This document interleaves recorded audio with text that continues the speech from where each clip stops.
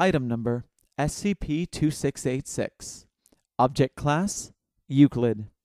Special Containment Procedures. Due to its static and distant nature, complete containment of SCP 2686 1 and subsequently SCP 2686 is not at this time feasible. However, as a result of SCP 2686 1's proximity to Outpost Thoth 1, observation equipment has been located near SCP 2686 1, and personnel are to observe the area for any significant changes in conditions or unusual behavior on the part of SCP 2686. Additionally, personnel from Outpost Thoth 1 are to travel via assigned rover to SCP 2686 1 on a weekly basis in order to evaluate the status of SCP 2686. All images captured of SCP 2686 1 by non Foundation organizations are to be edited in accordance with Security Regulation Document Thoth 1 F. Description SCP 2686 is an adult male human estimated to be approximately 75 years of age, currently located at within Mare Imbrium on the lunar surface. This location is designated as SCP 2686 1 and is detailed below. SCP 2686 is itself not visibly biologically anomalous, though has claimed in past interviews to possess anomalous capabilities, primarily those generally assigned in Welsh traditions originating in the early Middle Ages as belonging to a magician or wizard.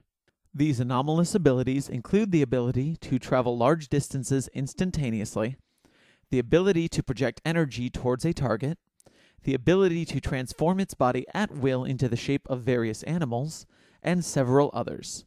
None of the abilities have at any point been observed by Foundation personnel. SCP 2686 has, at time of writing, only been seen to wear a single blue green robe of coarse wool and a small gray nightcap.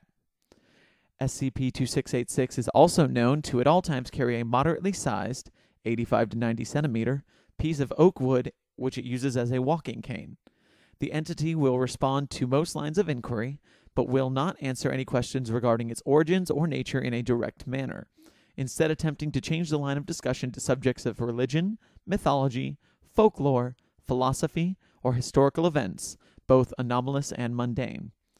The entity acts in a non hostile manner when interviewed, but will refuse any suggestions by Foundation personnel that it leave SCP 2686 1. SCP 2686 1 is a spherical area of a radius of 45 meters located at on the lunar surface. The area has been reported by SCP 2686 to possess an atmosphere identical to that of Earth, but this cannot be confirmed due to the nature of the region. Objects which enter the area of SCP 2686 1 are immediately transported to the opposite side of the region without interacting with the intervening space. SCP 2686 has reported that this effect does not persist on the inside of SCP 2686 1. The area encompassed by SCP 2686 1 contains a large amount of soil and grass, along with various trees, primarily oak and ash, as well as a small residence constructed of a mixture of wood, thatch, and stone. The exact architecture of the structure does not specifically match any styles found on Earth, although the design is in line with what would be required by a single person living in a rural area. SCP 2686 has at several points been observed to produce food from within the structure, including fresh meats and fruits which could not reasonably have been acquired in the area or stored for the amount of time which SCP 2686 1 has been under observation. When questioned about this, SCP 2686 has claimed that said food was acquired by a cat apparently named Commodore Buckles, which SCP 2686 referred to as its, quote, animal companion, end quote. This entity has at no time been observed by Foundation personnel or by autonomous observation equipment. Interview log Interviewed SCP 2686. Interviewer Agent Forward. As part of initial containment, Foundation personnel were tasked with interviewing the entity in an attempt to establish its history. The following interview was conducted by personnel stationed at Outpost Thoth 1 three days following the discovery of SCP 2686 1. Begin log. Hello, sir. Do you mind if I ask your name? I am known as the great wizard Nyperius, lord of the moon and stars above. I see. And could you describe for me how it is you came to reside on the surface of the moon? You dare question me, mortal man? If you don't want to tell us, that's perfectly all right. Now, moving on. Wait, wait.